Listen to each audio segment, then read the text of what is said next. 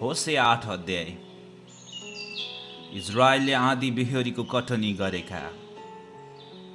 तुरै फुक एउटा गरुड परमप्रभुको भवनमाथि उड्दैछ। किनभने मानिसहरूले मेरो करार भङ्ग गरेका छन् र मेरो व्यवस्थाको विरुद्धमा बागी भएका छन्। इजरायलले मलाई पुकारा गर्छ। हे हाम्रा परमेश्वर हामी इजरायलीहरू तपाईँलाई मान्दछौँ। तर जे भलो छ त्यो इजरायलले गरे इन्कार गरेको छ। एउटा बैरीले त्यसलाई खेद्नेछ।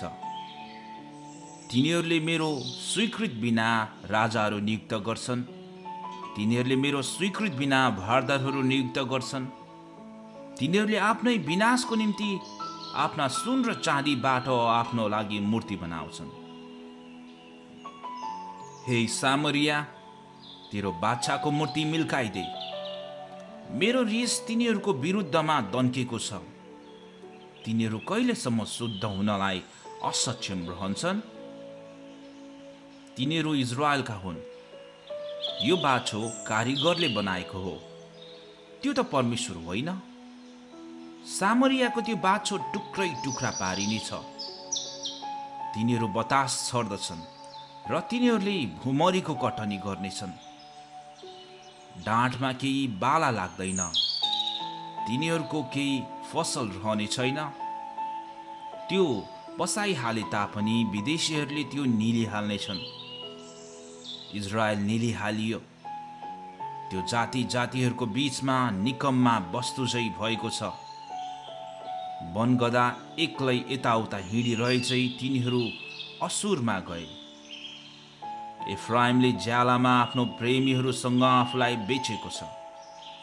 तिनीहरूले आफैलाई जाति जातिमा बेचे पनि म अब तिनीहरूलाई एकसाथ जम्मा गर्नेछु। शक्तिशाली राजाको अत्याचार मुनि तिनीहरू कमजोर भएर जानेछन्। इफ्राइमले पाप बलिका धेरै वेदीहरूको सङ्ख्या बढाए पनि ती त्यसको निम्ति पाप गर्ने वेदीहरू भएका छन्। मैले तिनीहरूका निम्ति धेरै विधिहरू मेरो व्यवस्थामा लेखे तर तिनीहरूले तिनलाई पराई थोक जस्तै ठाने।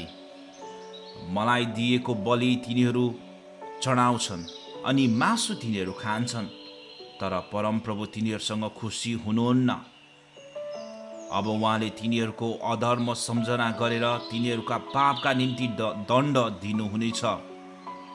तिनीहरू मिश्र देशमा फर्केर जानेछन्। इजरायलले आफ्ना सृष्टिकर्तालाई बिर्सेर महलहरू बनाएको छ। यहुदाले धेरै सहरहरूमा किल्लाहरू निर्माण गरेको छ। तर म तिनीहरूका सहरहरूमा आगो लगाइदिनेछु र त्यसले त्यसका किल्लाहरू भस्म पार्नेछ।